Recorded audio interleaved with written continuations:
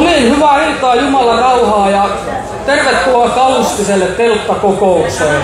Tule Jeesuksen luo meillä teemana edelleen ja kiitellään tässä vaiheessa jo Kaustisen helluntaiseurakunnan puolesta, että ollaan saatu tulla tänne yhdessä palvelemaan baptistien kanssa. Kiitokset Kaustisen baptistiseurakunnalle ja kiitos Ylisen Eskolle, joka, jotka jaksaa uskollisesti näitä joka kesä meille järjestää. Aloitetaan yhteisellä laululla hengellisestä laulukirjasta 71. Nimi yli kaikkeen on Jeesus.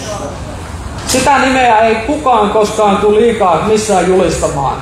Koitetaan me hoitaa omaa osuutemme tässä. Joo.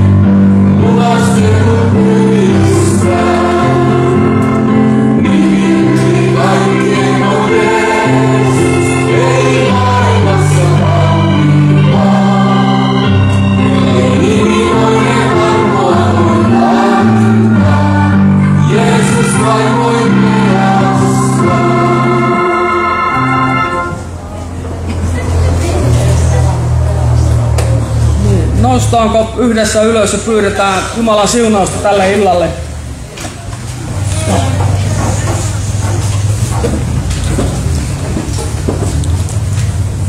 Joo, kiitos rakas taivaallinen Isä tästä iltahetkestä, mikä me saadaan yhdessä viettää Jeesuksen nimessä täällä.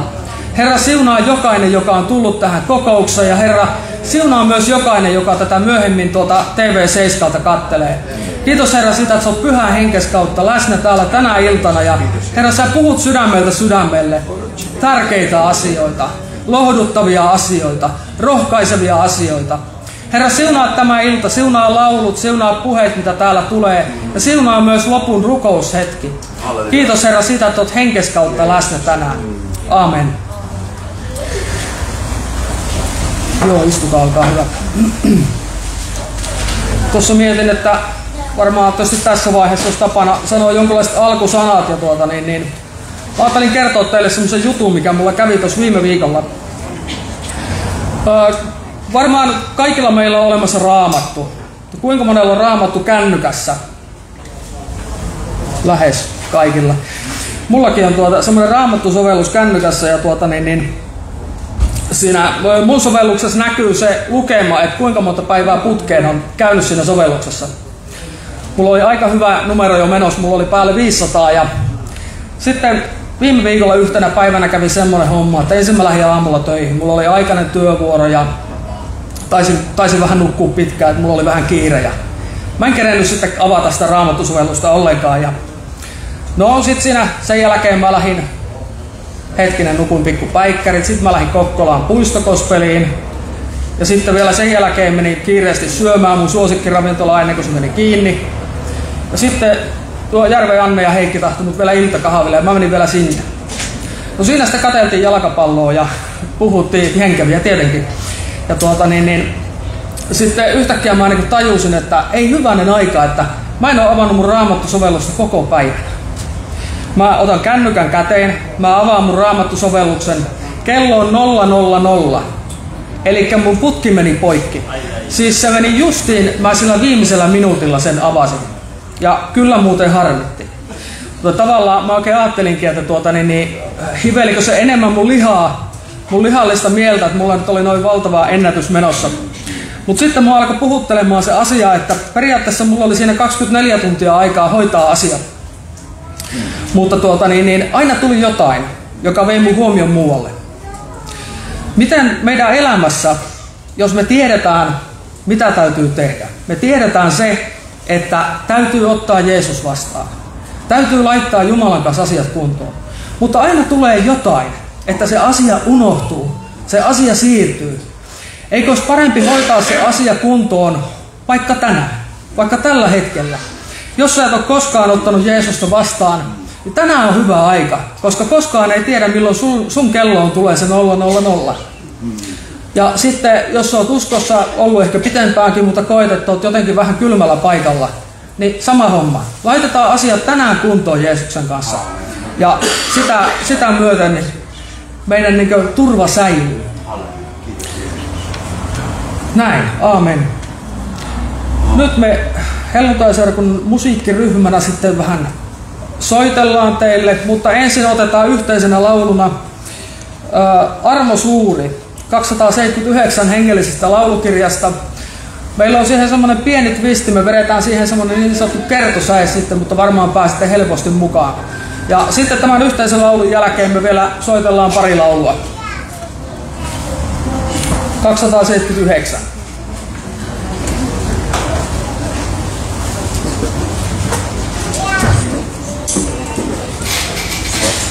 Amazing grace.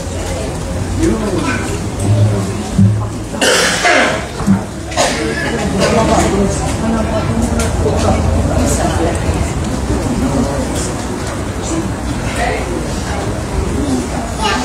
Yeah.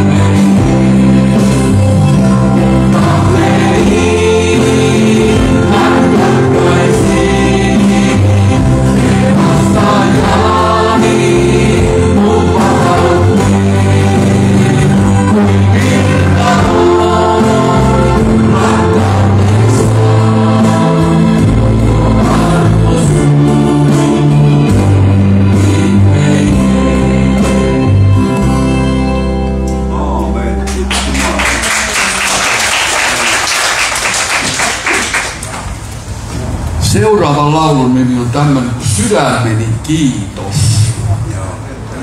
Kuinka paljon meillä on aihetta kiittää. Kiittää ensinnäkin siitä, että on saanut antaa elämänsä Jeesukselle. On paikka sitä taivaan kodissa.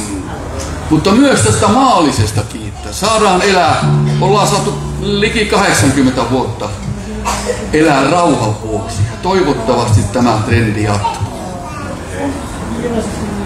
Sydämeni kiitos.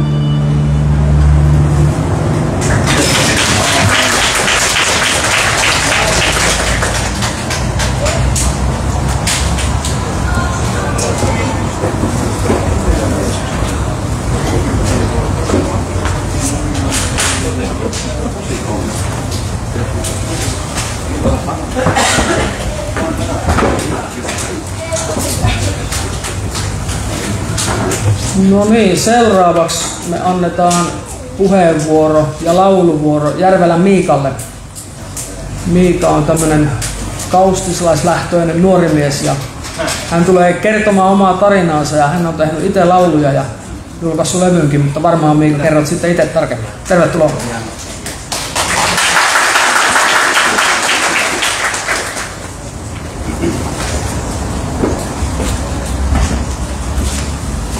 No joo, hei vain kaikille.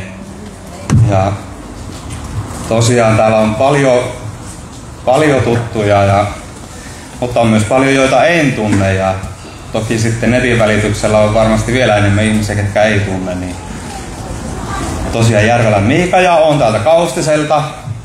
Ihan lähtösi on täällä suurin piirtein 20 ensimmäistä elämäni vuotta tässä lähimaastossa pyörinyt ja tuota, nyt on sitten näin käynyt, että näitä lauluja, mitä aina, aina sitä on musiikkia harrastettu ja on, on soiteltu, mutta sitten näitä omia lauluja, mitä tuonne kertyy.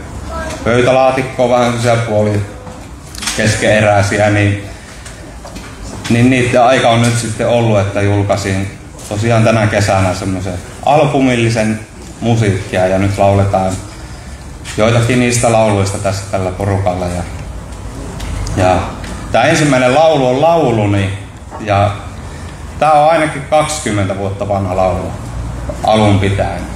Ja silti täytyy sanoa, että tämmöisenä niin tämä on ensimmäinen kerta, kun mä julkisesti laulan laulu. Mm. Että, että kauan, kauan niitä siellä muhiskeli ja nyt ne tuota, mutta nyt, nyt on aika laulaa näitä.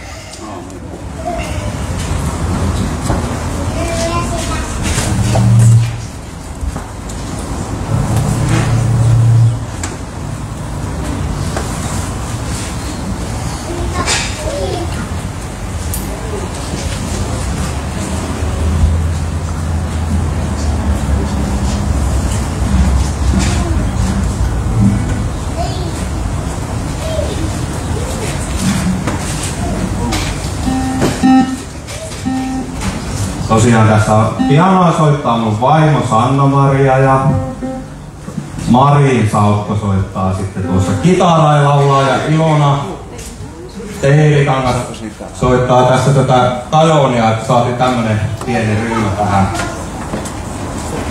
Soitatko tästä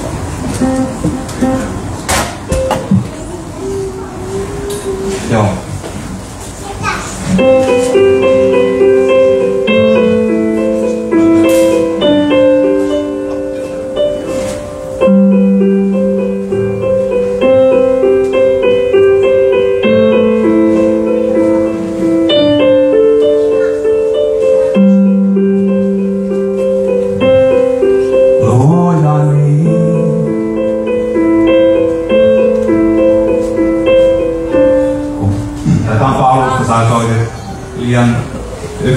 Enemmän aina jokaista, niin sitten päästään.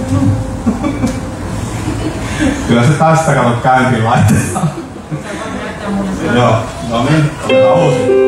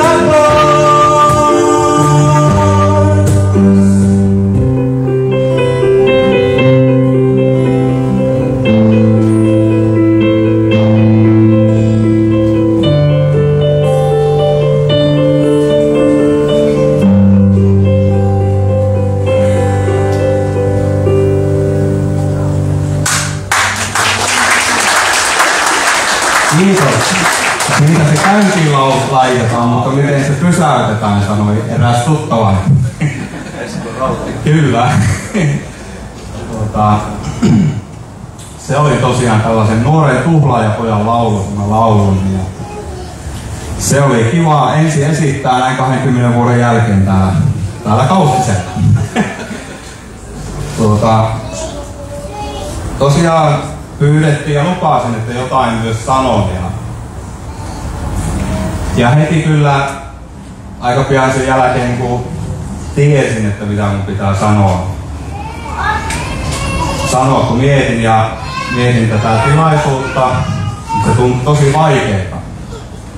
Ihan senkin takia, että täällä on niin paljon tuttuja ihmisiä, jotka tuntee minut kyllä jo ihan hyvin täältä pienestä, pienestä pitäen on nähnyt, nähnyt elämän vaiheita. Lyhyesti vaan sanon sen, että siinä 18 ikävuoden kohdalla uudistuin ja elämä nuoruus oli vähän sellainen vauhdikas ja rikkinäinen ja siitä ehkä tämä laulukin syntyi myöskin kuitenkin siitä kaipuusta Jumalan puoleen. Ja, ja tota, mutta sitten alkoi elämässä uusi aika sen jälkeen ja Jumala, Jumala ihmeellisesti johatti elämää ja elämään tuli paljon positiivisia asioita. Sinne tuli vaimo, tuli perhe ja saatiin palvella Jumalaa hengellisessä työssä ja monessakin eri paikassa. Ja, ja oli paljon hyviä asioita ja Jumala oli hyvä, mutta mä kamppailin aina sen asian kanssa, että mä olen aika rikki ja minussa itsessäni on sellaista heikkoutta, että mitä mä osaa selittää ja, ja myös mulle tuntuu, että mä en pärjää sinne. Mä kaadun aina ja joku saa mut aina niin kuin mä, mä en alkanut syyttämään oikeastaan Jumalaa, vaan mä aloin masentumaan pikkuhiljaa itteeni yhä enemmän ja enemmän ja uskomaan sellaisen saatanan valeen, että, että minussa on jotain niin vikaa, että Jumala ei maa mulle mitään. Ja tämä on pitkä tarina ja vuosia meni. Mutta oikeastaan ehkä siinä korona vuosien tai silloin kun se alkoi, niin onko siitä jo viisi vuotta, niin silloin ehkä niin elämässä tuli se sellainen syvin vaihe, että se elämä luisu tosissaan niin kuin voi sanoa. Ja siksi on aika vaikea sanoa, koska täällä on paljon tuttuja ihmisiä ja te näette meidät päältä päin ja me ylipäätänsäkin mehän nähdään toiset tästä näin me nähdään, että tuolla me ei sano ketään nimeltä, mutta siellä on se ja me tiedetään. Ja, mutta me ei oikeastaan monesti aina tiedä, että mitä kaikkea ihmisen elämässä voi olla sen ikään kuin kulissin ja sen kaiken takana. Ja mun elämässä noina viime vuosina siellä oli paljon pimeyttä on ollut. Ja mä en ala sitä käymään läpi, mutta mä haluan puhua tällaisesta ajatuksista, mitkä oli myös sitten kaiken sen muun keskellä siinä hyvin pinnassa ja se oli, ne oli hyvin itsetuosia ajatuksia. Ja Mä haluan sille puhua ehkä, joka tänään tämän kuulee, joko täällä tai netissä, mutta jostain syystä se oli se, mitä mun mielen tuli puhua näistä, että on niin helppo uskoa niitä saatanan palheita, kuinka sä oot mahdoton, sä oot kaikkea kokeillut. Sä oot sitä ja tätä ja sä oot sitä ja tätä tehnyt ja sä oot semmonen ja tämmönen. Vihollinen osaa, osaa niin tätä ujuttaa tätä valetta meidän siitä päähän vaikka kuinka paljon me aletaan uskomaan ehkä joskus sitä ja me aletaan masentumaan ja lopulta me tosissaan niin kuin, mä en omalla kohdallani koe, että mä en, mä en enää uskonut, mä en voi sanoa, että mä en uskonut Jumalaa enkä Jeesukseen. Sitä en voinut kieltää, mutta mä en uskonut enää omaan, mä en uskonut itteen enkä siihen, että minusta on mihinkään, enkä mä uskonut siihen, että Jeesus voi edes mulle mitään. Pari vuotta sitten, jos joku olisi jutellut mun kanssa sillä oikeasti, joka on niin kuin lähemmin, niin sydämestäni ajattelin näin, että Jeesus ei maa mulle mitään. Että säältä ei voi enää nousta. Mä en nähnyt elämässä sellaista mahdollisuutta, että se, se tästä jotenkin kohenee. Mä roikuin mukana vain sen takia, että mulla on lapsia. Ja nämä ajatukset, kun ne pyörii riittävän kauan viikosta toiseen, kuukaudesta toiseen, vuodesta toiseen, sä mietit kuolemaa ja mietit, että ehkä sä elät päivää, ehkä viikon, ehkä kuukauden, mitä silloin välillä. Niin reilu vuosi sitten mun elämässä oli semmoinen piste, että se sitten tosissaan mennä tapahtua ja, ja mä päädyin sitten tuonne sairaalaan ja, ja tuota, siinä mä oikeastaan vasta havahduin ja pysähdyin ja oikeastaan ymmärsin vasta, että kuinka vakavassa tilanteessa mä olen elänyt vaikka kuinka kauan. Että ei ole normaalia, että ihminen ajattelee tämmöisiä asioita päivästä toiseen, saatika, että ne konkretisoituu. Ja mä olin siinä ollut jonkun päivän ja sitten mun hyvä ystävä soiteltiin tai varmaan siinä tai jotain ja mä sanoin, että missä oli, mitä tässä on menossa. Ja itse asiassa meidän illan puhuja Rölli, joka leikki, joka tänään puhui, niin puhuttiin sitten puhelimessa siinä ja, ja Leikki sanoi mulle, että joo, me on täällä rukoiltu jo monta päivää tai pitkään jo, että sä et tekisi mitään itsellesi. Jumala mua herättäni, herättäessä muutama yö sitten rukoilemaan sun puolesta. Ja mä tajusin silloin siinä, että siellä missä mä luulin, että täällä ei ole enää ketään, niin Jeesus oli siellä. Ja sitä mantraa, mitä mä olin kokenut itselleni pitkään, että mulle ei voi kukaan mitään, Jeesus ei voi mulle mitään, Jumalakaan ei voi mulle yhtään mitään, ja että Jumalalle, mä pystyin sanomaan ehkä toiselle, että Jumalalle on kaikki mahdollista, mutta en itselleni. Niin siinä muuttui jotain. Mä ymmärsin, että siellä, siellä hetkessä, missä ei ehkä ollutkaan ketään muita kuin minä, niitä ajatusten niin siellä oli Jeesus. Ja sillä oli jotain muuta suunnitelmia. Ja haluaisin sanoa tämä sen takia, että jos täällä on joku, joka niin ajattelee tämmöisiä asioita omassa elämässään, niin se kuulostaa niin raivostuttavalta silloin, kun olet sellaisessa pisteessä ja joku sanoo sulle, että Jumalalle on vaikka kaikki mahdollista tai toivoa on ja niin edelleen. Se on sellainen, niin kuin, jos se väärällä lailla kuulee, niin se on melkein sama kuin, että tekisi vielä tehdä jotain saman tien, että sä et ymmärrä mitä sä puhut. Mutta mä haluan sanoa sulle kaiken tämän jälkeen, että on. Jumalalle on kaikki mahdollista. En olisi voinut sanoa sitä paremmin. Ja tämä laulu seuraava kertoo, että on minä parannan sinut. Ja mä luen täältä raamatusta muutama jake Jesajan kirjasta.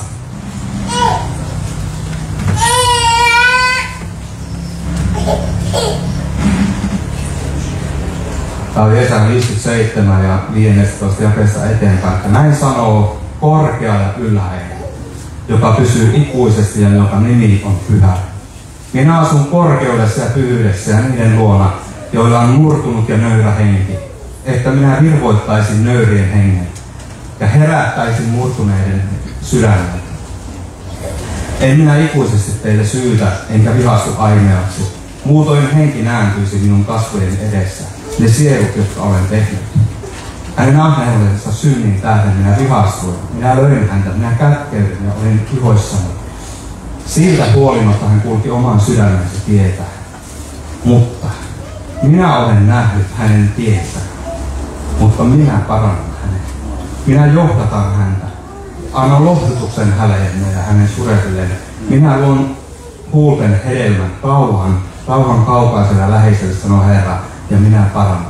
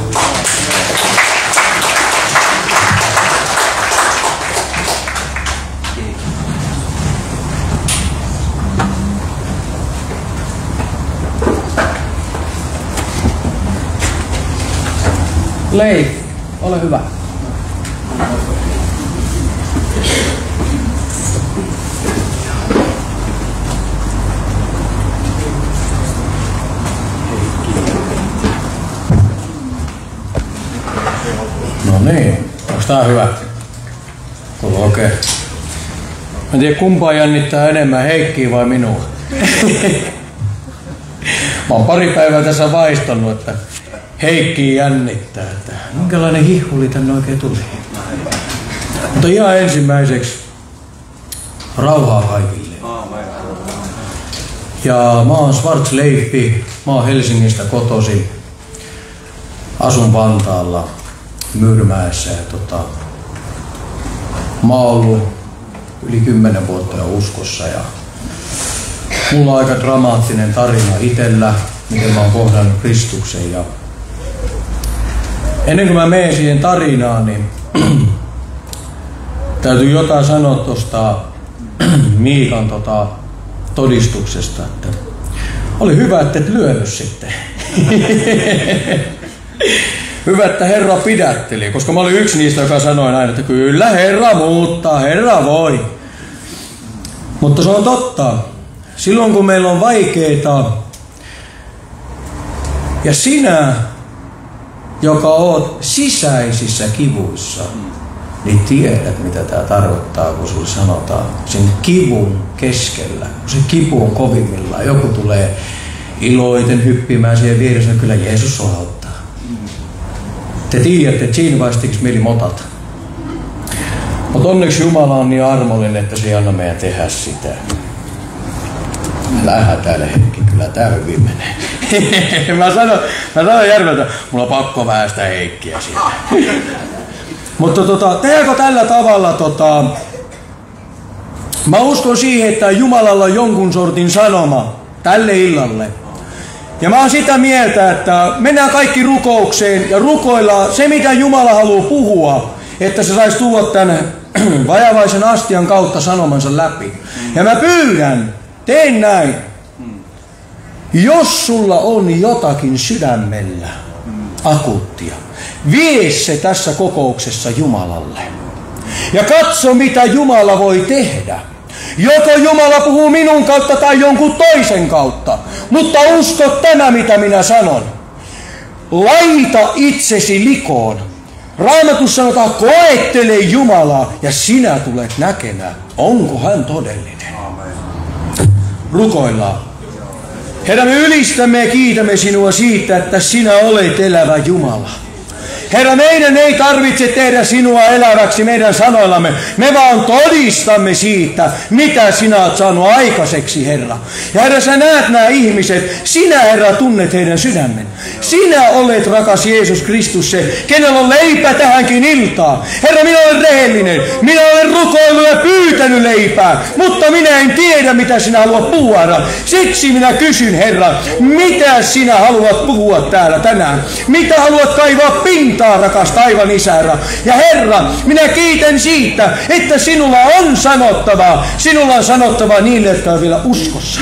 Niille, jotka kamppailee uskon kanssa. Syntii langenneiden kanssa. Akrebesse prebibi, akonno sokrono saie. Ja katso, minä sanon sinulle, kuka sinä olet sanomaan, että millaisen työn Jumala tekee sinussa.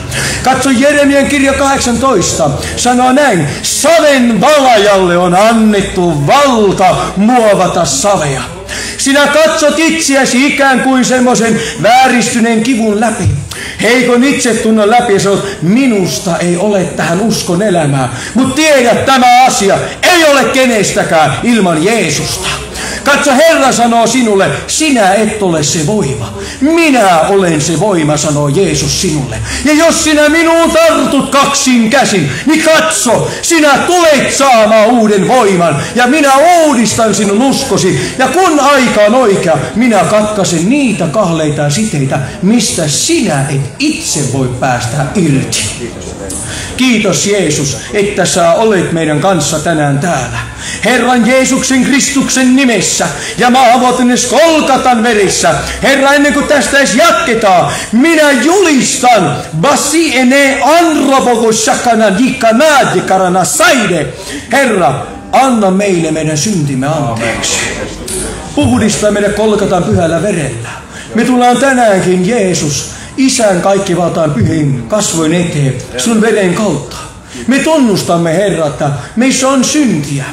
On paljon laiminlyöntejä, paljon pahoja sanoja, Herra. Minä ainakin sellainen mies, että on niin välillä, Herra, semmoinen, että veri kiehahtaa hyvin nopeasti ja laaduta taas, Herra. Tulee sanottua sanoa, mitä ei tarkoita, mutta kiitos Jeesus armosta ja ristin sovitustyöstä. Jää sinä siunaamaan tämä tilaisuus. Sinun pyhässä nimessä ja veressä Jeesus Kristus. Amen. No niin, tästä on hyvä jatkaa. Mulla on nyt tässä näin monta asiaa ollut mielessä, mutta koska Miika alkoi puhumaan sen verran vakavista asioista, niin mä jatkan siitä, että tai oikeastaan, sori, että mä sekoilen tässä päämeen sinne ja tänne ja tonne. Mä kerron nopeasti vähän, miten mä tulin uskoon, onko se ok? Eli tota, noin about 10 vuotta sitten, voi olla enemmänkin, niin tota, mä olin linnassa ja ää, siellä linnassa ollessani sitten mä nukuin ja mä näin semmoisen unen, että mä oon joutumassa helvettiin. Ja siinä unessa mun oikealla puolella seisoi saatana.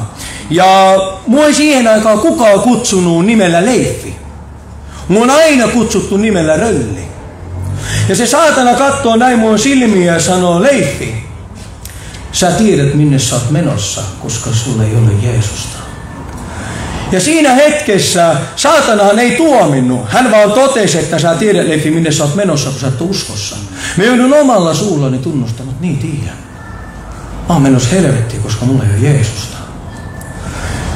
Mutta jotain kävi. Jotain sellaista, mitä en voi tänä päivänäkään selittää.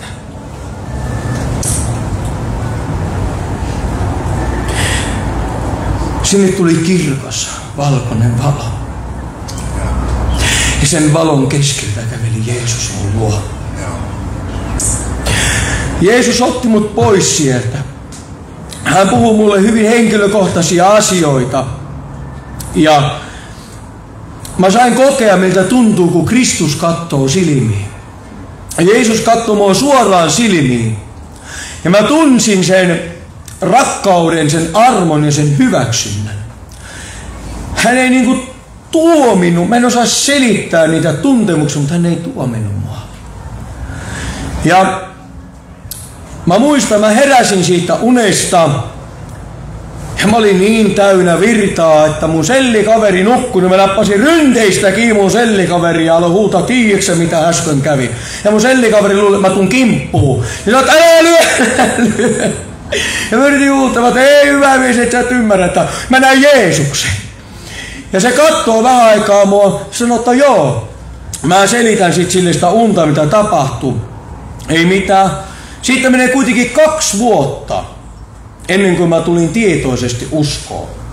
Tätä ennen kuitenkin mun äitille oli tullut profetia kuusi vuotta ennen kuin tämä juttu tapahtui. Ja Jeesus oli sanonut mun äitille näin, kun mun äiti aina rukoili mun puolesta.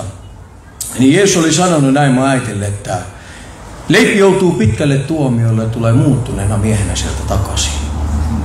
Ja tota, mä muistan aina, kun mä kulin pitki kyläraittia ja tein ilkeyksiä ja pahuuksia niin siellä ja mä olin oikea, tota, mä voin sanoa suoraan sitten, että mä olin paha poika. Oli semmonen kaveri, että mä sanoin eilen, oliko se eilen vai toissapäivänä Järvelälle, että tää Kaustin on niin pieni paikka, että kiitos Jumalalle, että mä en asunut täällä silloin, kun mä en ollut uskossa. Että olisi räjähtänyt tää paikka. Ajatelkaa Espoo, Vantaa, Helsinki. Mulle tuli kaikkiin näihin tuo porttikielto. Porttikielto kaupunkeihin, voitteko ymmärtää? Ja siellä niin kuin mä olin, niin poliisi, heti kun poliisi näki, se otti heti mut autossa. Joo, ei missään nimessä mene takas kotiin. Ne ei se heittänyt enää putkaamaan, ne heitti mut kotiin. No, ei mitään. Siis mä olin ihan mahdoton. Mulla ei ollut minkäänlaista semmoista niinku kuria. Mä tappelin poliiseittenkin kanssa siihen malliin ja kaikkien muidenkin ihmisten kanssa. Mä muistan linnassakin, kun mä olin, niin Mä en tullut kenenkään kanssa toimeen. En kenenkään kanssa. Mulla oli niin valtava auktoriteettiongelma. Jos joku, jos oli aivan sama, oliko se vaikka joku johtaja siellä vankilassa. Mutta jos se astui mun varpaille jollain tavalla, mä olin kurkus hetikin. Mua ei tarvinnut edes härnätä. Ja tota, loppupeleissä kuitenkin kävi sellainen juttu, että niin kuin mä selitin äsken sen unen ja sanoin kaksi vuotta siitä, mulla oli vielä Sori, mä katson Heikkiä, mua nauratti, kun Heikki, mitä sieltä tulee. Mutta kaksi vuotta vielä, kun mä jouduin tota, mä jouduin tota, sinne vankilaan, mä pääsin vapaaksi. Ei ollut vielä muutosta tullut, kun mä olin nähnyt se unen. Mulla tuli se viimeinen tuomio. Ja nyt mä sanon jotakin teille. Tämän viimeisen tuomion aikana, mä olin Keravan nuorisovankilassa – ja siellä sitten mä rupesin lukemaan raamattua, kun yöllä mulle kävi sellainen asia, että mä heräsin siihen, että mä kuulin todella oudon äänen. Ja mä kuulin niin oudon äänen, että se oli kuin semmonen, mä en tiedä, ootteko koskaan kattonut kauhuelokuvia, mutta se oli niin sairas ääni, se oli kuin kauhuelokuvasta sen manajan ääni. Ja mä kun heräsin siihen, mä sanoin Jumala, että täällä sellissä ei ole kaikki ok. Mä rupesin rukoilemaan Herätin sellikaverin, mä että täällä ei ole kaikki kunnossa. Sellikaveri sanoi, näetkö sä paha unta? Mä että en. Ja se kävi takas vaan nukkumaan. Minä valvoin, mua pelotti siihen malliin. Sitten mä rupesin lukemaan raamattua siellä. Ei mitään. Mä luvin raamattua siinä. Annoin elämäni Jeesukselle siinä ja olinkohan mä varmaan semmoinen kolme kuukautta silleen, että mä olin hyvin asiallinen, mutta sitten lähti taas lapasesta, kun mä en tullut kenenkään toimeen siellä. Mä rupesin riitelemään sen äh, vanginvartioiden ja vankilakundien kanssa ja sitten mä menin, tiettäkö, sinne selliin ja mä menin polvilleen siihen sängyn juureen.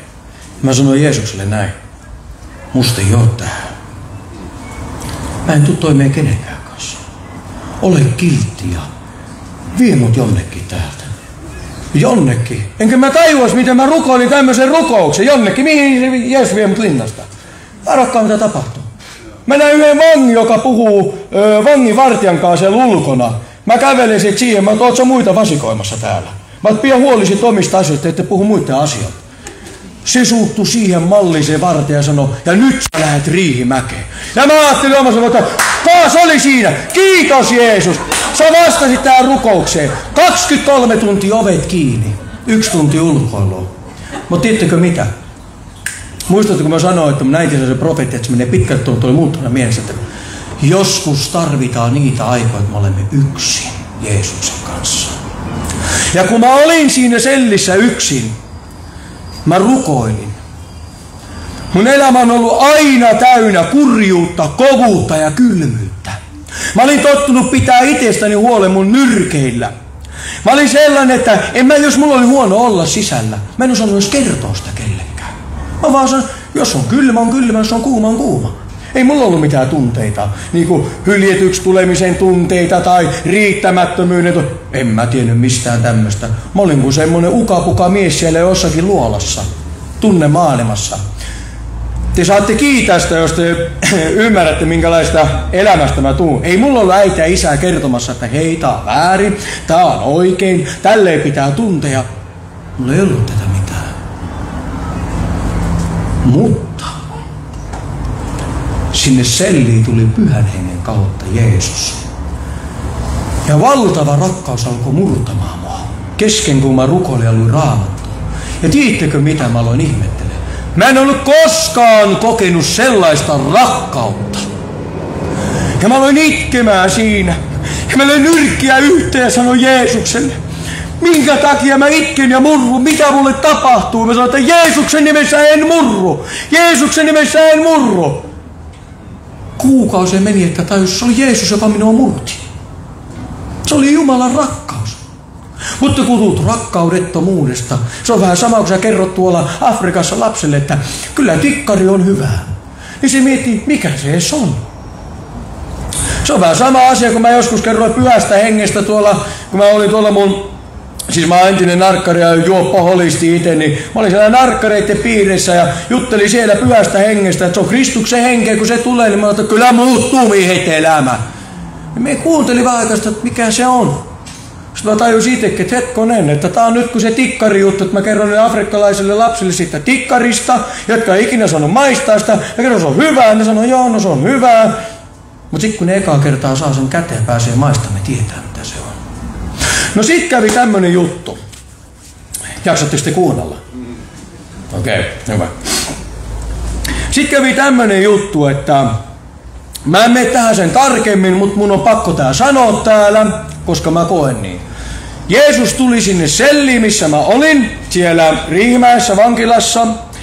Siellä mä rukoilin. Sitten mun äitille oli tullut sanoma, että ota neljän päivän paasto Leifin puolestaan tulee puhdistaa sen sisäisen maailman. Ja niin Jeesus tuli sinne hän ajoi musta kaksi henkivaltaa ulos. Ne lähti ulos. Ja tiedättekö mitä tuli tilalle? No, koittakaa nyt edes arvata. Hyvä! Bravo! Pyhä henki tuli tilalle. Ja sitä kokemusta en voi koskaan unohtaa. No näitä on nyt monia, mitä ei voi unohtaa. No sen takia mä kerron näistä. Ja se oli semmoinen kokemus, kun se pyhä henki tuli mun sisälle. Mä en osaa selittää, se oli kuin tuuli olisi mennyt mun niin kuin koko tämän ruumiin läpi. Mä kuvaan sen näin, jos olisi ollut pitkä tukka, niin se olisi liejunut täällä näin. Ja mä sanoin Jeesukselle, kun mä tunsin sen rakkauden, mä levitin mun käteni siinä sellissä ja mä sanoin Kristukselle näin, että 20 vuotta tää on ollut minulla tää elämä. Ja se on täällä linnassa. Mitään en ole saanut. Mutta nyt mä annan kaiken sulle. Saat tehdä mitä haluat mun elämällä. Saat toimia niin kuin haluat. Mä haluan antaa sulle kaiken. Koska kukaan ei ole ikinä rakastanut minua näin kuin sinä olet Jeesus. Ja tiedättekö, Jumala aloitti eheytysprosessin tuona päivänä. Ja mä voin ymmärtää, mun sisällä on paljon tunteita, mitkä on rikki ja hajalla. Mitkä on vienyt eri suuntiin, saanut toimimaan väärällä tyylillä tavalla ja puhumaan rikkomaan muita ihmisiä. Mutta voi hyvä tavata. Jumala alkoi oikeasti parantamaan. Täytyy sanoa näin, että se toi mut sieltä luolasta ulos niin kuin tämän. Sanokaa se miehen nimi, joka oli siellä hauvassa makas, kun Jeesus herätti sen. Lasarus! No niin, näin. Kato, mä otan kaikki mukaan tähän saarnaan, täällä yksin saarnaan. ja tota, liittikö, Jumala toi mut niinku ulos sieltä hauasta, sisäisestä hauasta, kivuista ja tuskista. Ja alettiin käsittelemään niitä, niin mä sanoin, että voi pajat, oli tuskaa. Ja mä sanoin, että eikö tätä voi mitenkään ohittaa. Että musta tuntuu, että mä kuolen tähän tuskaan. Niin tiedättekö mitä Jumala sanoo mulle vaan? Kuunnelkaa nämä sanat. Kiitos Jeesus. Mutta nyt näin sanoo Herra, joka loi sinut Jaakob, joka valmisti sinut Israel. Älä pelkää, sillä minä olen lunastanut sinut. Minä olen sinut nimeltä kutsunut, sinä olet minun. Ja se jatkuu näin. Jos vetten läpi kuljet, olen minä sinun kanssasi. Jos virtojen läpi eivät ne sinua upota. Jos tulen läpi käyt, et sinä kärveny eikä liekki sinua polta. Ja tiedättekö mitä? Minä olin virroissa, minä olin syvissä vesissä, minua poltti. Mutta tämä Jeesus oli minun kanssa. Sen jälkeen, onko vielä aikaa? Okei. Okay. On. Sen jälkeen, mä en ihan kaikkea kerro, kun menee, muuten menee koko vuosi tässä. Nämä Jumala on tehnyt niin paljon. Mä tuon nyt tärkeimmät asiat tässä esille. Sen jälkeen, kun Jumala oli päässyt mua parantaa ja vienyt raamattukouluun, missä mä opin Järvelänkin tuntemaan, sehän näki mut siellä, kun mä olin kuin potkuhousussa, kun mä olin vasta tullut uskoa ja sä ajattelin, että ei hyvää päivää, ollaanko vielä mukaan tekemisissäkin. Mutta tänä päivänä me ollaan, Jumala on yhdistänyt meidät, me ollaan veliä. Ja tää on hienoa. Jumalan henki ei erottele. Jeesus Kristus ei erottele. Sillä ei ole afrikkalaisia, mustalaisia ja suomalaisia. Tiesitkö sen? Jeesus kun meni ristille, niin se ristin työ se oli kaikille. Se oli nimenomaan kaikille. Sen takia siellä lukee raamatus, viekää tämä kaikkea maailmaa. Ja nyt se mitä mä haluan sanoa on se, kun mä oon mennyt monesti siellä Liesi kappelissa, eli omassa seurakunnassa siellä, tai siis kuulun siihen seurakuntaan, se ei ole minun seurakunta, siellä Myyrmäessä, niin siellä on ollut tämmöinen afrikkalaisten sisko- ja veljen ilta. Ja me ei puhuttu samaa kieltäkään. Niin oli tullutkin sitten, mua pyydettiin sanoa pari sanaa siinä. Ja mä sanoin, että mä haluan sanoa nämä sanat vaan. Kun tulin ovesta sisään, tunsin isäni hengen. Niin alkoi kaikki hyppäsi ilma, alkoi läksiä käsiä yhteen, sanoi bravo, hallelujaa. Koska henki on se, mikä yhdistää. Ja samaa täytyy sanoa, kun ollut Järvelänkin niin tuntee sen pyhän hengen yhteyden. Ja aivan sama kenen kanssa, kenen ketä on Jumalalle antautunut ja seuraa Kristusta sydämestään, niin hänessä on se pyhä henki. Näin Jumala lähti mua muovaamaan ja se alkoi opettaa mulle paljon sellaisia asioita, että mikä tunne vie mihinkin asioihin ja millä tavalla vihollinen, eli saatana, jota perkeleeksi kututaan täällä. Millä tavalla se pyrkii vaikuttaa, että ihminen astuu tunnemaailman kautta kaikkiin semmoisiin ansoihin. Nyt mä luettelen nopeasti pari asiaa vaan tässä. Esimerkiksi tämmönen kuin anteeksi antamattomuus. Se on saatanan ansa. Ei sun tarvi antaa anteeksi. Sua on loukattu. Sulla on oikeus pitää vihaa, koska ne on tappanut sun sukulaisen. Vaikka sä oot uskossakin, niin kyllä sä voit valikoida, ketä tulee seurakuntiin esimerkiksi. Nyt mä puhun meidän omalle kansallekin samalla tässä. Tiedättekö mitä? Jumala opetti mua aivan toisella tavalla. Mä en löydä näitä raamatusta. Jos mä löydän näitä raamatusta, niin ei ole Jumalan puhetta. Jumala puhuu mulle. Kun mä julistin evankeliumia siellä keskellä katua, tuli toinen romanimies siihen ja alkoi puhua mulle hyvin rumia juttuja. Toisaalta mä puhun näin, että mun kansoimentaja soitti mulle suuta päin naamaa.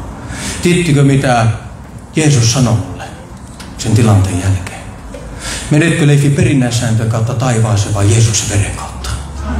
Ja mä katsoin Jeesuksen ja mä itkin ja mä sanoin, minä menen sun veren kautta. Ja joskus mä haluan puhua tän, tää on tärkeä. Me joudutaan maksaa hintaa, kun me seurataan Jeesusta.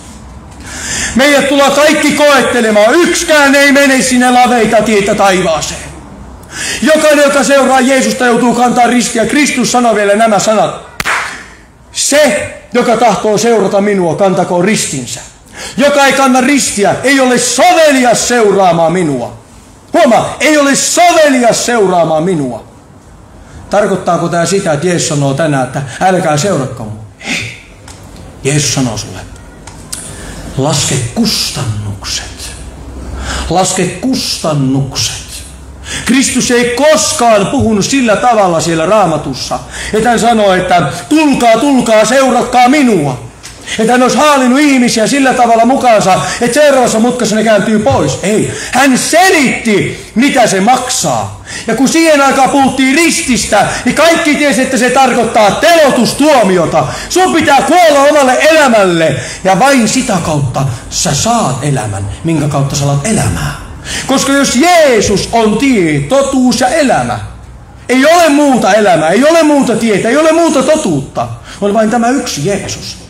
Ei ole mitään muuta tietä taivaaseen kuin Kristus Jeesus. Ja tämän Jumala opetti minulle. Ja mä sanoin Jumalalle, mä olen valmis siihen. Että mä hylkään kaiken sen, mitä mun näistä perinnäsäännöistä tulee, mitkä on vastaan tätä sanaa. Tai evankeliume tai minun ja sinun suhdetta. Tai pyrkii tulla siihen välille. Sanon, kaiken tämän minä hylkään. Ja tiedättekö mitä? Jumala on siunannut minua. Hän on siunannut mun elämää vapaudella, totuudella, armolla ja rakkaudella. Kyllä mulla on tullut moni sanomaan, moni mustalainenkin näin, että anteeksi jos mä sanon mustalainen, pitää sanoa romaani, mutta no, sallikaa se nyt, kun mä olen itse romani. Ja mulla on tullut moni sanomaan, että no meillä niitä hyviä tapoja, meillä niitä huonoja tapoja, mutta mulla on ihan sama mitä tapoja meillä on. Mutta kun ne tavat lukee täällä. Täällä lukee selvästi, että mikä on väärin. Jos meet nyrkillä toista naamaa, niin se ei ole oikein. Mä vedän hyvin radikaalista enää. Mutta kun olet loukannut toista ja pyydät anteeksi, no niin, tervetuloa. Ole hyvä. Jumala opettaa näin meitä. Ja näin Jumala opetti minua. Tämä oli suuri vapaus mun elämään. Ja mä muistan, niin äsken mä sanoin, mä muistan, kun tuli niitä ihmisiä, jotka sanoo, että ei näin ja näin voi seurata, että ei sun tarvitse tällä tavalla, tällä tavalla tällä tavalla muuttua. Mä sanoin, kuulkaa. Kyllä se on sillä tavalla, että Jeesus puhuu sanassa selvästi, miten sitä seurataan. Jos me seurataan Jeesusta niin, että tässä ja tässä kohtiin minä teen Jumalan tahdon, ja joissain toissa kohtiin minä muokkaan sen sanan. Eli mä oon valmis palvelemaan Jumalaa siinä, mikä mulle kelpaa. Mutta mä en ole valmis kuolemaan siinä kohdassa, mikä mulle ei kelpaa. Ja eräänä päivänä mä uskon siihen, että Jeesus sanoo mulle siellä taivaassa, mä en tunne sua. Sä et ole se kaveri, joka kuoli kokonaan. Sä et ole se kaveri, joka kantoi ristiä. Sä et ole se kaveri, joka tunnisti minun nimeällä sillä tavalla, että sä elit tämän sanan mukaan. Tämä Raamattu sanoo, siellä on paljon ihmisiä, fariseuksetkin tunnusti Jumalaa. Ja nekin osas elää sillä tavalla, että kukaan ei päässyt puhumaan niistä mitään pahaa. Mutta se pointti ei olekaan se, että teetkö sinä syntiä. Vaan se pointti on siinä, onko sun sydämessä se tahto, että sä olet irti siitä synnistä. Katso, täällä on tänäänkin sellaisia ihmisiä, jotka olette kiinni synnissä. Ja sä sydämessä taistelet sitä syntiä vastaan. Tiedätkö, mitä mä sanon sulle? Niin kauan kun sun sydämessä on taistelu syntiä vastaan, halleluja, sä olet voittajan puolella. Niin kauan kun sun sydämessä ei ole syntiä vastaan taistelua, silloin peli on menetetty. Ja nyt mä en tarkoita sitä, että peli on menetetty niin, että tulee joku kuolemaan se vie. Ei. On erilaisia syntejä. On syntejäkin, kun jos veet jotain heroinia vaikka tuolla noin nurkkien takana, niin kyllä siihen voi kuolla. Sehän nyt on päivänselvä asia. Erilaisilla asioilla erilaiset tuota, seuraukset. Mutta se pointti on tämä. Kun sä taistelet, sä rukoilet. Vai onko täällä joku, joka on vapauttanut itse itsensä synnistä? Minä en nyt en puhu siitä, että sinä olet oppinut puhumaan hienosti kotona vaimolle ja sanomatta, kyllä rakas vaimoni, minä olen sinulle erittäin ystävällinen tänään. Mä puhun siitä synnistä, mikä hallitsee sinua, mikä kahlitsee sinua. Synnistä, mistä sä et pääse irti. Jos sä et pääse jostain asiasta irti, niin onko näin, että sinä pystyt itsesi vapauttaa päätöksillä? Ei ole. Jos ois näin, tekisitkö sen? Jokainen meistä vapauttaisi ahdistuksesta itsensä ja synnistä jos pystyisi. Mutta tiedättekö mitä? Tämä valta on vain Kristuksella. Ja tiedättekö mitä muuta? Jumalalle riittää se, että ihminen on rehellinen ja totuudellinen. Näin Jumala opetti mullekin armoa. Mä sanoin Jumalalle, mulla on paljon syntiä elämässä Jeesus, että mistä mä en pääse irti, että, että mä haluan, että sä laittaisit ensin mun elämän kuntoon ennen kuin mä lähden minnekään puhumaan.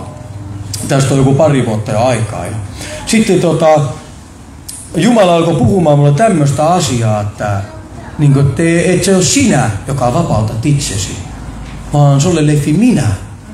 Ja kato Leffi, se riittää, että sä oot turvannut minua. Ja sä oot tunnustanut rehellisesti sun syntisi. Sä oot tuonut ne ja sä olet tuominnutkin ne minun kanssani.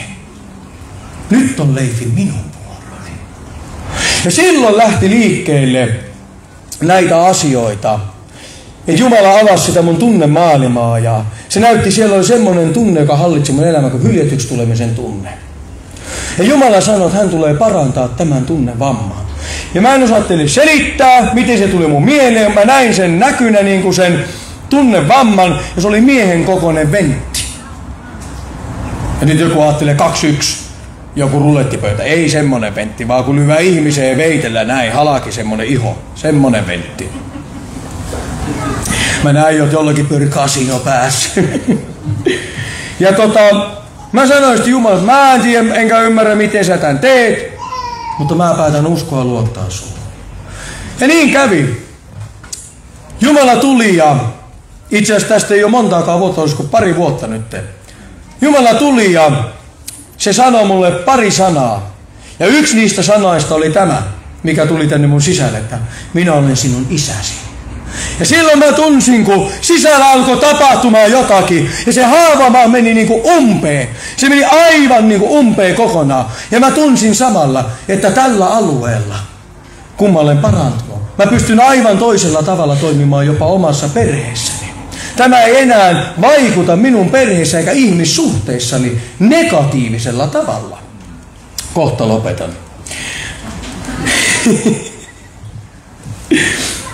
Ja tota, olin hyvin mielissäni siitä ja Jumala oli antanut mulle perheen ja kun mä sain mun perheeni, niin mä aloin rukoilemaan paljon Jumalalta sitä, että mä sanoin Jumalalle, että mulla ei ole minkäänlaista mallia ollut kotona. Että mä oon ihan kuin pikkunen poika. Mä en tiedä miten olla aviomies tai isä. Ja tiedättekö mitä Jumala puhuu? Hän on sun isä. Ja mä opetan sun. Se kosketti mua niin, mä sanoin Jumalalle näin, mä en voi ikinä korvata sulle tätä, mitä sä oot tehnyt mulle. Jumala on ollut mulle niin hyvä, vaikka mun elämässä on ollut kovia taisteluita. Mä oon käynyt monen monen laakson läpi sitä, mitä Jumala on mulle tehnyt. Sitä ei voi sanoilla mitata eikä kertoa kaikkea täällä. Se Jumalan armo on niin suuri mua kohtaan, että mä sanoin kerran näin, että kun mulle sanottiin, että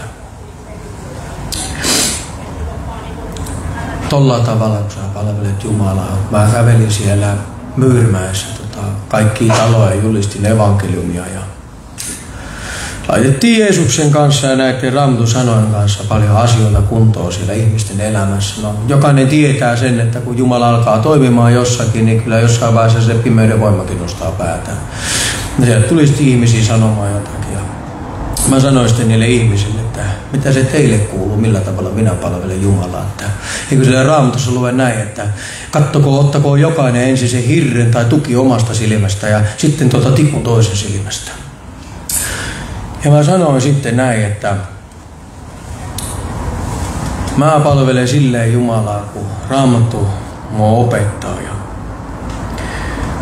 mä muistan vielä, kun mulle tuli semmoinen puhelu ja mulle sanottiin, että sun pitää poika tehdä tällä tavalla tällä tavalla, että sä et nyt toimi tolla tavalla niin kuin Raamattu ja Jeesus sulle sanoo, vaan sä teet just näin niin kuin he sanoo. Mulle soitti vähän vanhemmat ihmiset tota, omasta suvusta.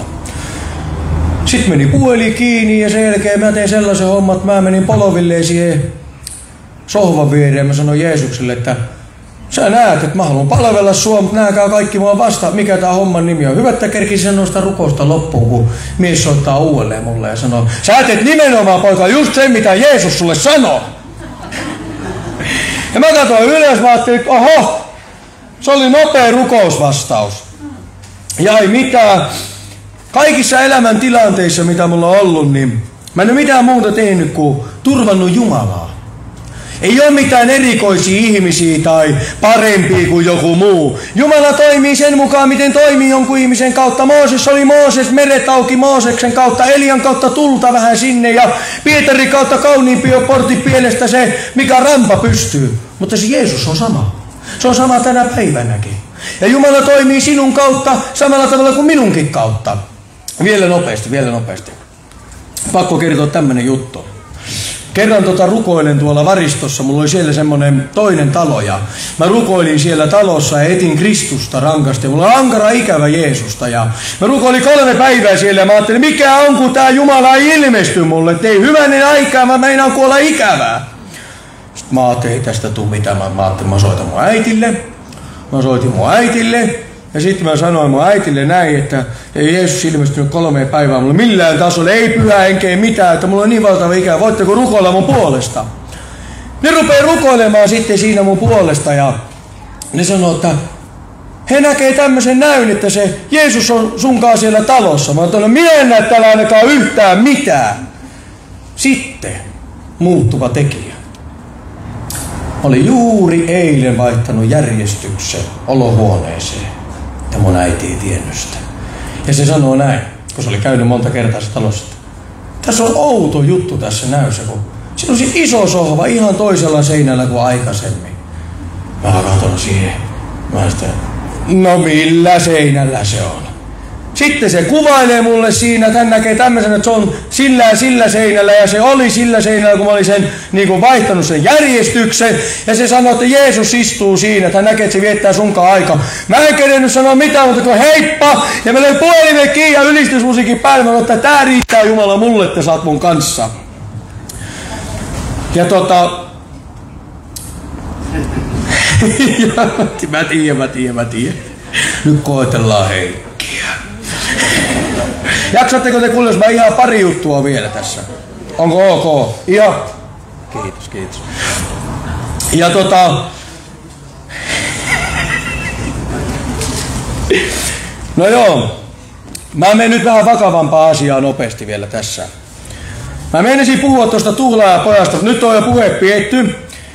Mutta tota, justi ennen kuin tänne tulin, ja Järvelä puhuu nimenomaan näistä vakavista asioista, niin kuin toi sanoi, että kukaan ei voi nähdä sitä, mitä esiriipun takana on sun sydämessä, sun elämässä. Jumala yksin tietää, mitä siellä on, eikö näin? Hän näkee. Monesti me voimme kätkeä hymyn taakse tai jonkun muunkin tunteen taakse sen todellisuuden, mitä sinun sisälläsi oikeasti liikkuu. Ja näin oli erään ystävänikin kohdalla. Rukoilin kotona ja koin ihan selvästi, että Jumala puhuu mun mieleen ja sanoi, mene ja kohtaa tämä veli. Mene ja vie sille tämä sana. Puhu sille niin kuin Joona puhuu parannuksen saarnaa Niinivessä. Ja mä ajattelin, että ei hyvänä aika, että ei varmaan Jeesus mene. Että se mies on muutenkin niin täynnä, että sä oot laittanut niin monta kertaa puhua sille miehelle, että se pakenee mua. Sanoin, että jos tää on Jeesus susta, niin se tulee vastaan tuolla kylällä. Se ajoo se mies mua vastaan sillä kylällä. Mä näen sen miehen. Ei mitään. Sen jälkeen, kun mä näen sen miehen, tiedättekö mitä? Se mies yritti juosta karkuun. Mä sanoin, että sä voi juosta Jumalaa karkuun. Lopuksi se kuuntelee sen sanan. Kaksi päivää sen sanan jälkeen tämä mies menetti koko elämästään kaiken. Aivan kaiken. Ja tämän jälkeen Jumala sanoi uudelleen, me uudelleen sen miehen. Ja mä en tehnyt mitään muuta kuin kuuntelin sitä miestä, kun se itki ja puhui mulle elämänsä asioita. Yksi, kaksi mä sanoin sille miehelle näin. Tänä päivänä sä oot menettänyt kaiken. Ja tämä piti tapahtua niin kuin Pietarillekin. Pietari menetti kaiken. Kaiken oman voiman. Kaiken sen lihan, joka seisoo Kristuksen edessä. Seisoo sen voiman edessä, että Jumala voi häntä käyttää. Tämä mies menetti kaiken. Mä Jumala tulee laittaa sun elämän uudelleen kuntoon. Se alkaa tästä, että sä nöyryt. Se nöyrtyi Jumalan eteen ja sanoi, tapahtukoon Kristus kaikilla elämän osa-alueilla sun tahtoon. Jumala palautti hänen vaimon takaisin ja Jumala palautti hänen sen perheyhteisön takaisin. Mutta Jumala muistutti myös tätä miestä ja sanoi, minä palautin nämä sinulle. Muista, että vaalit sitä, mistä minä sanoin, tee parannus. Ilman parannusta meistä ei kukaan voi elää. Jokainen joudutaan tehdä Jumalan edessä parannusta. Ja se on Jumalan armoa, isällisyyttä, kun hän meitä nuhtelee. Se on Jumalan rakkautta. Jos Jumala ei nuhtelisi meitä, mä oon monta kertaa, kun mä oon Jumalan eteen mennyt rukoilemaan, jos Jumala ei olisi nuhdellut mua, mä olisin mennyt ihan väärään suuntaan. Mutta kun Jumala on nuhdellut mua niin kuin isä poikaa, se on Leifi, ei, tässä oot tehnyt väärin. Menepä kotiin ja pyydä vaimolta anteeksi. Pyydäpä lapselta, pyydäpä naapurilta. Kyllä näitä riittää ja on mennyt ja pyytänyt. Koska sitä joutuu mennä itteensä. Niin kuin tuhla ja poikakin meni itteensä. Ja sitten jos ei nöyrytä menee itteemme, sitten mennään sinne sikojen keskelle syömään niitä palkohedelmia. Ja kun ollaan vähän aikaa oltu siellä, niin kyllä rupeaa maistua armo taas. Voi kun pääsi se siihen kohtaan, kun oli hyvä olla isän kotona. Anna Herra tulla edes vaikka seisoo tuolla takana rivissä ja kokea pyhää henkeä. Anna tulla takaisin uskoon, rakasin. Ja sitten siellä onkin isä, joka sanoo, minä olen odottanut, että sinä tulet. Tämä on uudistuksen päivä sinulle. Tule tänne, minä uudistan sinut. Ja sinä, joka et ole uskossa, niin Jumala kutsuu sinua. Amen. Mä haluan vielä sanoa pari sanaa. Mä lopetan siis tähän nyt. Mutta siis silti mä puhun. Tänään täällä on varmasti esirukoilijoita. Voitteko nousta esirukoille pystyy, ketkä rukoilette muiden ihmisten puolesta? On täällä On täällä muitakin. Nouskaa ihmiset, ihmiset näkee, ketä täällä on. Niin me rukoillaan teidän puolestanne ja avataan tänne tänään alttari, eikö? Ja saat tulla, oli sun asia, oli sun ongelma, mikä tahansa. Tuo se Jeesukselle. Anna mahdollisuus, mahdollisuus Jeesukselle muuttaa. Anna mahdollisuus Jeesukselle parantaa. Mikä tahansa se asia onkin. Tuo se Jumalalle. Katsotaan mitä Jeesus tekee. Mä päätän tähän. Olkaa siunattuja kaikki. Amen.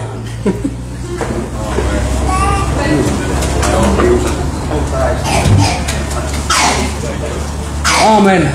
Me saatiin tässä elävää todistusta siitä, että Jeesus ei ole pelkkä ideologia, vaan hän on elävä. Hän on voimallinen. Hän auttaa, hän toimii. Aletaan päättelemään tätä kokousta musiikilla. Lupasin, että Miika saa vielä, tuleeko yksi vai kaksi teiltä? Pari laulua vielä Miika porukoineen tässä laulaa. Ja tosiaan avataan rukousalttari. Mikä ikinä sun tarve on, mitä sä haluat Jumalalta pyytää, kerro se hänelle. Jos sä haluat tulla uskoon, tuu rohkeasti tänne alttarille, sun puolesta rukoillaan. Julistetaan sun synnit anteeksi. Sä pääset taivastielle. Jos sulla on jotain muuta asiaa, että kaipaat, että sun puolesta rukoillaan, niin oot tervetullut myös tänne eteen. No niin, Miika, ole hyvä.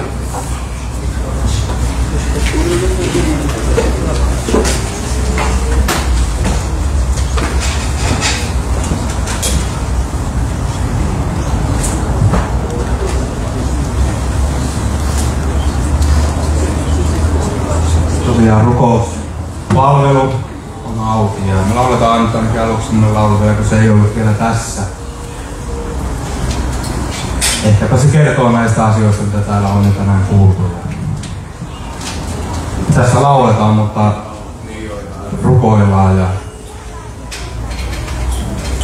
se rohkeasti liikkeelle, jos, jos Jumala on sua koskettanut, jos se on sua kehottanut haluat saada johonkin asian vastauksen tai muutoksen tai haluat antaa elämässä Jeesukselle, niin siellä on alttari auki. Mut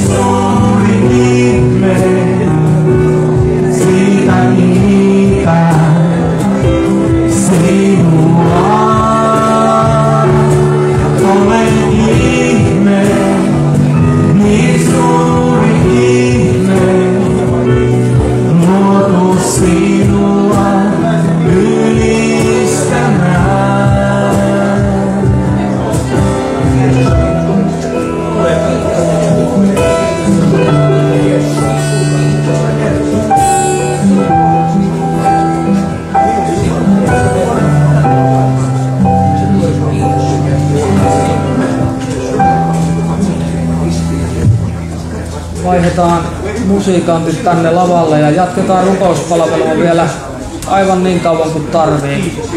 Ja tosiaan tuossa ulkona on makkaratelta, sinne voi halutessaan jo lähteä ja tai sitten jäädä kuuntelemaan vielä meitä hetkeksi. Ole siunattu Jeesuksen nimessä. Ja sitä mä Jeesusta, sinä Jeesus on viimeinen.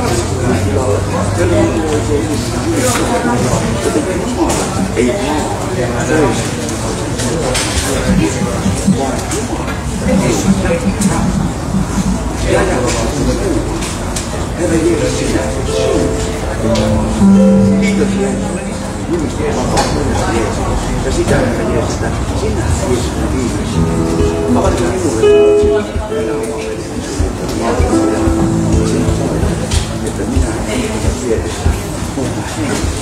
Minä